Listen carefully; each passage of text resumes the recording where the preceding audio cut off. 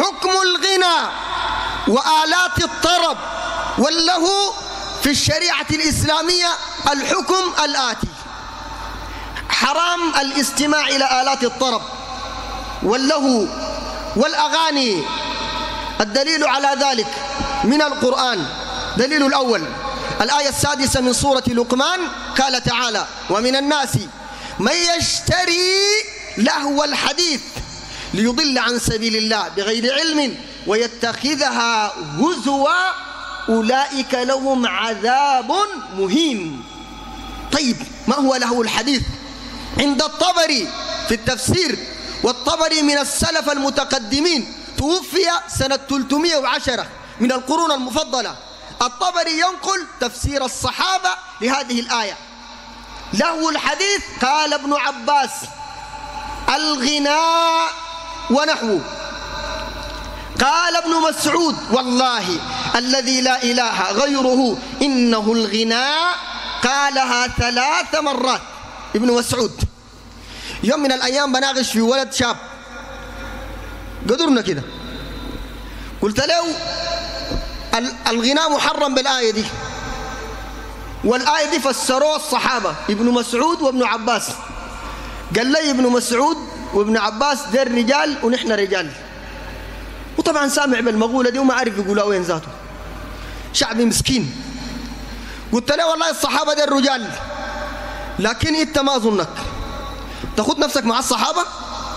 سبحان الله الصحابة رضي الله عنهم ومن حمل عنهم العلم كمجاهد بن جبر والضحاك بن مزاحم وعكرمة من تلاميذ ابن عباس من التابعين فسروا هذا التفسير وعلى هذا التفسير جماهير المفسرين وعامة أهل العلم المقتدى بهم في الدين.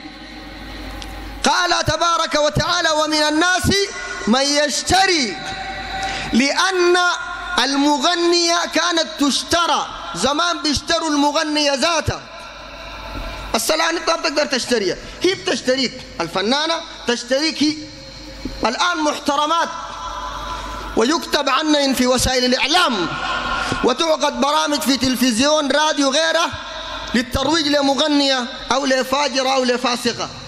على كل زمان تشترى المغنية.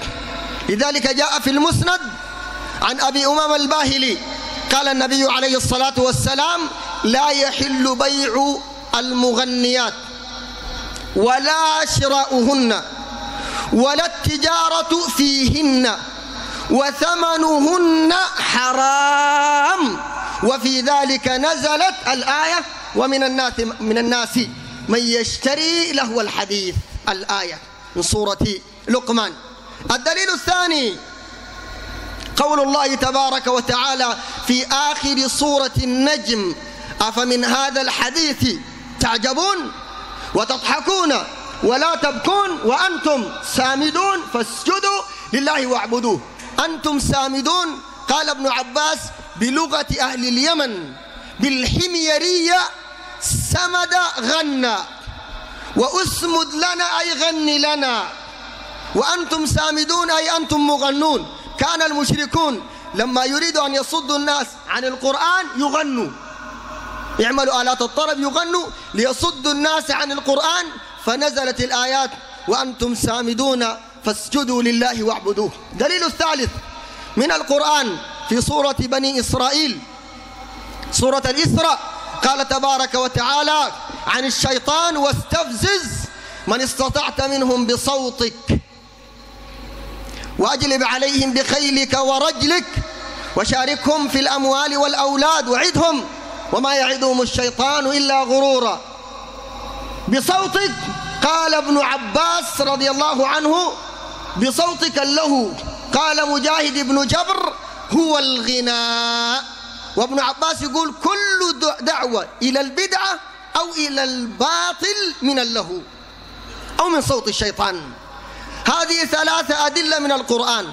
أما من السنة ما رواه الإمام البخاري إمام المحدثين روى الحديث معلقا بصيغة الجزم كما قال ابن تيمية جازما به مستدلا به كما قال ذلك ابن تيمية في كتابه إبطال الحيل. قال البخاري من رواية هشام بن عمار إلى الصحابي الجليل عن أبي عامر أو أبي مالك رضي الله عنه وأرضاه قال قال رسول الله ليكونن من أمتي أقوام يستحلون يستحلون. والشيء أخواننا لما يقال يستحل إذا هو حرام.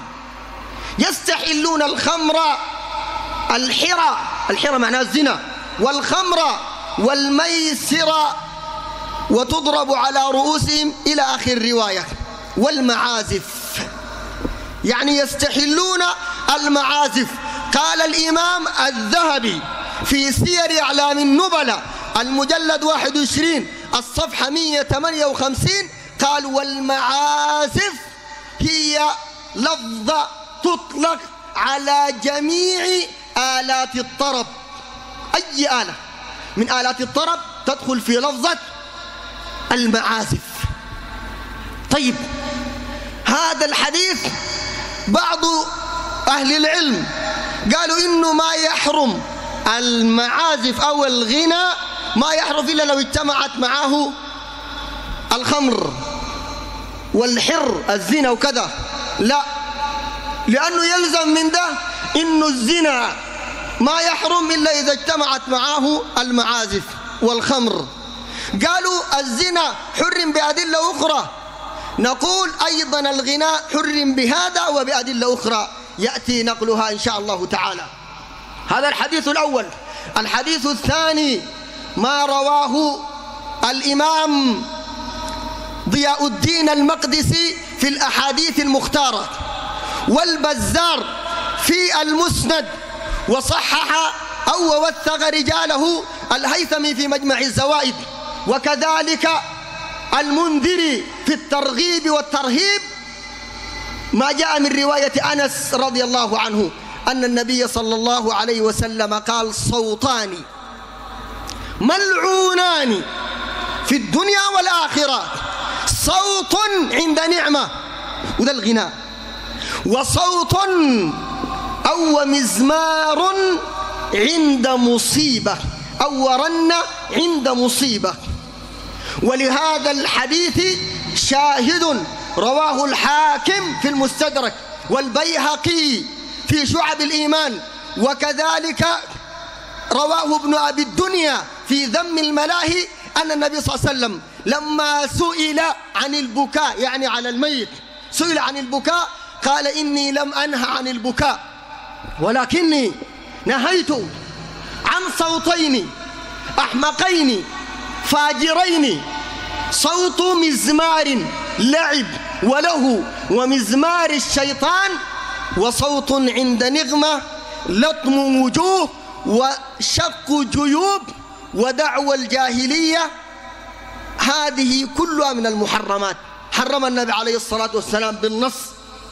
أيضا الدليل الثالث أو الرابع من السنة ما رواه الإمام أبو داود في المسند في, في السنن وأحمد في المسند والطبراني أيضا والبيهقي من حديث عبد الله بن عباس رضي الله عنهما أن النبي صلى الله عليه وسلم قال إن الله حرم بالنص عديد شما يجوز اللي قال الثاني يقول لك أفتانا فلان وشيخنا القرضاوي قال وشيخنا منو قال؟ يا ترى أنا بقول لك الرسول قال. القرضاوي بتاع شنو؟ الرسول صلى الله عليه وسلم. يقول إن الله حرم الخمر والميسر الميسر معروف ده القمار والميسر والكوبة. الكوبة دي آلات الطرب. قال والكوبة وكل مسكر حرام. الحديث حسن بمجموع طرقه حسن الألباني في تحريم آلات الطرب. وله شاهد من حديث عبد الله ابن عمرو ابن العاص رضي الله عنه عنهما رواه أبو داود في المسند وأبو داود في السنن وأحمد في المسند والطحاوي كذلك. أن النبي صلى الله عليه وسلم قال إن الله حرم الخمر والميسر والكوبة والغبيراء. الغبيراء دي الخمرة اللي بيعملوها من الذرة بدارجيتنا إحنا اسمها المريسة. دي هزاتها مريسة حرام. كوبة آلات الطرب حرام. الخمر عموما حرام. كويس؟ الحرة كلها دي من المحرمات. بالنص بنص الحديث. أيضا جاء في سنن الترمذي. وعند ابن أبي الدنيا في تحريم أو في تحريم آلات الملاهي في ذم الملاهي. من رواية عمران بن حسين والحديث ده فيه تهديد عجيب. فيه وعيد عجيب خلاص. قال النبي صلى الله عليه وسلم سيكون في أمتي قذف. القذف ده حجارة من السماء بتقع على الناس. سيكون في أمتي. ده ما في أمة ثانية أمة النبي صلى الله عليه وسلم. سيكون في أمتي قذف من السماء ومسخ المسخ يتمسخ الإنسان لحيوان آخر. كويس؟ ومسخ وخسف. الخسف ده يتعب. حتى جاءت في بعض الروايات يقال خسف اليوم ببني فلان. الناس بتونسوا عادي يقول لك تخيل الليلة في المايقومه حفلة شغالة كلها جوا خسف اليوم ببني فلان. كويس؟ قال يكون في أمتي قذف ومسخ وخسف قيل متى يا رسول الله؟ قال إذا ظهرت المعازف وكثرت القيان. القيان جمع قينة والقينة المرأة المغنية. قال إذا ظهرت القيان. الآن في حي ما فيه؟ في أي مكان؟ بس القاسي الناس المغرب جاء. طوال الحفلة تبدأ. ويجيبوا لهم فنانات. أنا ما أعرف ده شنو ده.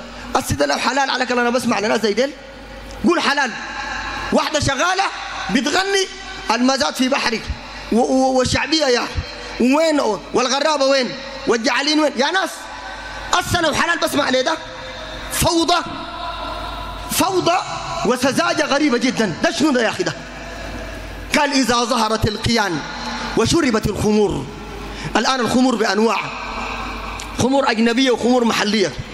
ده يزور راغب تشرب خمور أجنبية تشرب ويسكي وبتاع بيبيعوها لك ديك في قزاز كده ظريف. داير الخمر اللي جاي دي المليانة سفنجات وعواليق ودي أمشي أشرب الخمره دي. ظهرت الخمور وظهرت القيان والغناء الفاحش والبذيء كل ده موجود في مجتمعنا. النبي صلى الله عليه وسلم قال يكون خسف ومسخ وقذف سبحان الله. لذلك أجمع الأئمة الأربعة على حرمة الغناء كل الأئمة الأربعة. أما الإمام أبو حنيفة قال من استمع إلى الغناء فاستماعه حرام ومن تلذذ بالغناء فهو كافر. يعني بذلك كفر النعمة كما هو مشهور عنه. الإمام مالك ابن أنس إمام دار الهجرة سئل كما نقل ابن الجوزي في تلبيس إبليس عن ما يترخص فيه أهل المدينة من الغناء. قال الإمام مالك إنما يفعله عندنا الفساق. ده زمن الإمام مالك. والغنى بتاعهم قالوا زي ده. الغناء ذاته ما زي ده. يا أخي سبحان الله. سيدة عائشة رضي الله عنها سمعت رجلا يقرأ شعرا. ما غنى. شعر بيقرأ فيه. فقام بقى يتحرك مع الغنى مع الشعر كده. بيحرك في راسه. سيدة عائشة قال الشيطان أخرجوه أخرجوه ده شيطان. ده غنى بحرك معاه راسه. تعالوا شوف الجماعة اللي بجاي ديل. سيدة عائشة لو شافت البهينة ديل تقول شنو؟ يا ناس يا أخي ما ممكن. يخرج الإنسان عن طوره فيصير كالبهيمة والحيوان. ما ممكن يا أخي. سبحان الله. الإمام أحمد رحمه الله تعالى قال الغناء ينبت النفاق في القلب فلا يعجبني. وابن الجوزي نقل عنه قال كان الإمام أحمد ينهى عنه رحمه الله تعالى. وكذلك الإمام الشافعي نقل نوع من أنواع الغناء وده الآن اللي بيسموه مديح وبيعتبروه دين وده بجيبه بعد شوية. كويس؟ الإمام الشافعي قال سمع تركت في بغداد. شيئا يسمى التغبير. أحدثته الزنادقة ليصدوا به الناس عن القرآن. شوف يتكلم عنه كيف الإمام الشافعي. بس يجيك واحد يقول لك أنا شافعي وأنا مالكي وشيوخ يا أخي أئمة الإسلام الأربعة. جمهور العلماء بالمناسبة على إنه المغني فاسق ترد شهادته. يعني لو جاء واحد بيشهد أنت منو؟ أنا فلان بتاع العود. إنت وعودك برا. ما بتقبل شهادته. ابن الجوزي نقل عن الحنابلة في تلبيس إبليس. قال وترد عند الحنابلة شهادة المغني والرقاص. مغني؟ ما عنده شهادة. أنا ما بغني برقص صاي برضه ما بترد شهادة. عند الإمام الشافعي لا تقبل شهادة المغني. مش المغني. الإمام الشافعي نص كما نقل عنه أبو الطيب الطبري نص على أن من أدمن سماع الغناء ردت شهادته. ده لا بغني لا برقص. بس بيسمع كثير ترد شهادته. هذا عند أئمة الإسلام وأئمة الدنيا المقتدى بهم. وبعد ذلك جاء من جاء من الناس وحاول أن يستدل على إباحة الغناء ولا دليل في الشريعة الإسلامية على إباحة الغناء والملاهي. كما نهى عن ذلك رسولنا عليه الصلاة والسلام مما يترخص فيه من أمر الغناء الغناء للجواري الصغار في وقت العيد والعرس. والدليل على ذلك ما جاء في البخاري أن أبو بكر الصديق رضي الله عنه دخل على عائشة في بيتها في بيت النبي صلى الله عليه وسلم ووجد عندها جاريتين تغنيان. بما تقاولت به الأنصار يوم بعاث والغناء ذات شوف كلماتهم كيف. أتيناكم أتيتوا فحيونا نحييكم. كلام كلام طيب ذاته. وده خاص بالجواري في وقت العرس. والدليل على الخصوصية أن أبو بكر الصديق لما دخل قال أمزمار الشيطان أو مزمور الشيطان. في بيت رسول الله أنكر على الجاريتين. النبي صلى الله عليه وسلم كان متغطي. فقال يا أبا بكر دعهما فإن هذا يوم عيد. العلماء أخذوا منا ضابط. إنه إنكار أبو بكر الصديق على الجاريتين وتسمية هذا الغناء بمزمور الشيطان يدل على إنه ده ما فهموا من النبي عليه الصلاة والسلام. والنبي صلى الله عليه وسلم ما أنكر عليه. ما قال له ده ما مزمور الشيطان. لا. ولا قال له إنه الغناء أصلا بجوز يا أبو بكر الصديق. أنت جبت التحريم من وين؟ لا. أقره على أن هذا مزمور الشيطان. والغنى محرم. لكن ترخص للجاريتين في وقت العرس أو العيد. وبعض أهل العلم قاس على الجارية المرأة. وقالوا يجوز للمرأة في العيد وفي العرس وفي استقبال الغائب بعضهم قال استقبال الغائب وإن كان الشيخ الألباني يخص هذه بالغائب كرسول الله صلى الله عليه وسلم. ما لا يزول ثاني؟ دي خاصة بالنبي عليه الصلاة والسلام. كويس؟ العرس والعيد للنساء للجوارح. هسه واحد يستدل لك يقول لك حديث الجاريتين. ودعهما يا أبا بكر. إن هاتان جاريتان. كويس؟ أها. ولا تستدل على منه تلقى جايب له فنان صلعته لهنا. يقول لك حديث الجاريتين. طيب ده جارية؟ يا ناس هل ما يجوز للجارية يجوز للرجال؟ ما ممكن يكون ده جارية وصلعته كده لهنا. ما ممكن أبدا. ما يجوز للجواري لا يجوز للرجال أبدا. ولذلك هذا الحديث خاص بالجواري في وقت العيد أو في وقت العرس والفرح. ويكونوا براهم. ما يلموا الرجال وتلقى واحد بيرقص في النص.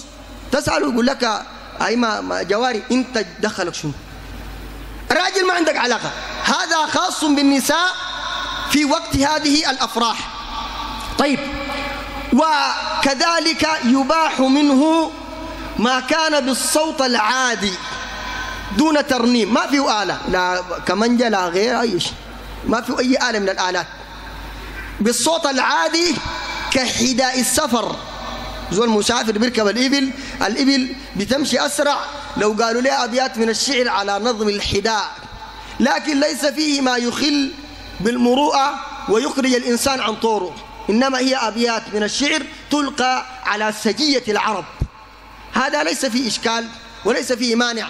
أما دخلت فيه الموسيقى حرام. بالنسبة للنساء الدف فقط. الدف اللي هو خشبة وعلى جلدة. ده اللي بيجوز. أما الطبل ما يجوز. كويس؟ ولا الدلوكة دي ما دف. ناس يقول لك دي الدلوكة. لا. ما دف الدف ده براو صوته ما عالي. الدلوكة دي بتلم الحلة كلها. صوته ما عالي. دف صغير. هذا يجوز للنساء في كما ذكرنا في العيد وفي العرس. أما أن يتخذ الغنى وآلات الطرب تتخذ دينا وعبادة ده أسوأ من الفات ده كله. ما يسمى الآن بالأناشيد الإسلامية وأناشيد الصحوة وأناشيد الجهاد وأناشيد غيره. هذه الأناشيد والمنظومات الملحنة بالموسيقى حرام. ومش ان سميتها إسلامية بقت حلال. ما ديل بيسموا ساي. يقول لك إسلامي نشيد إسلامي حفلة إسلامية اختلاط إسلامي. أي شيء إسلامي. بنك إسلامي وتلقريبة كله. شوف الشيء كونه يسمى إسلامي ما معناه حلال. أبدا. الحلال ما حله الله ورسوله صلى الله عليه وسلم. ولذلك أناشيد إسلامية وأسوأ من ذلك المدايح.